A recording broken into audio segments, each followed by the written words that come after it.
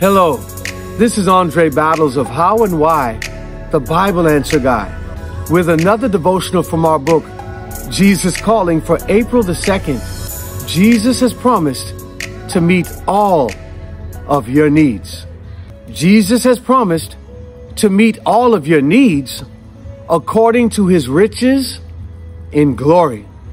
Your deepest, most constant need is to be in constant communication with Jesus. Jesus has planted peace in the garden of your heart where he lives.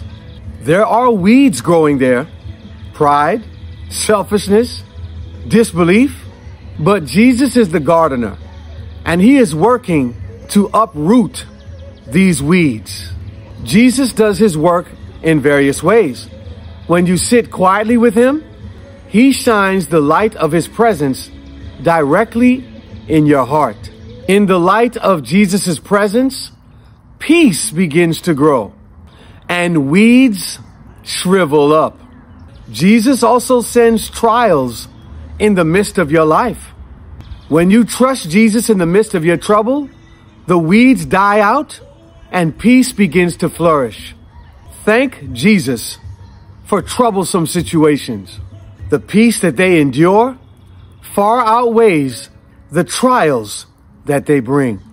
Our scripture reading today is from Philippians 4 19.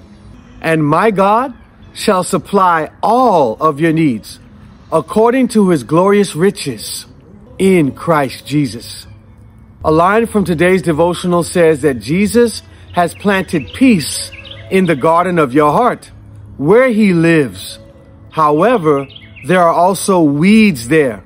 Pride, selfishness, and disbelief. And that was very powerful. You know, we don't look at it that way, but that's exactly what pride, selfishness, lust, anger, frustration, despair, thoughts of suicide is. It is a weed. These are weeds, and they are there to snuff out the peace that God has given you. You know, we've got to be gardeners just like Christ is. Christ comes into the heart when we invite him, and he weeds out all of the things that don't look like him and that do not align with his presence. But we've got to be co-laborers with Christ. We've got to help him weed out all of the things in our lives that don't look like him. You can't get to heaven and much less be peaceful while you're on this earth with pride. You can't get to heaven, much less be peaceful on this earth with jealousy, selfishness, envy, or lust. Allow Jesus to come in and weed out all the things out of your heart that don't belong. How do you do that? You pray with me. Father in heaven, I invite you into my heart. I need you to do the weeding out of everything that does not look like you. I am going to be willing and I'm going to be obedient to your spirit and allow you to do the work in me that must be done. In Jesus' precious name I pray.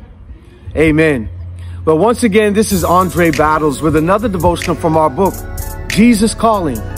Look, we've been having a great time in the prayer line.